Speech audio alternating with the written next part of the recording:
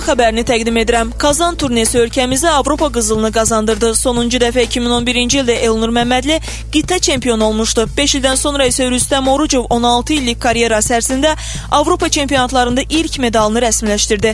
Kişilərdən ibarət millimizdə ən böyük uğuruna Kazanda imza atdı.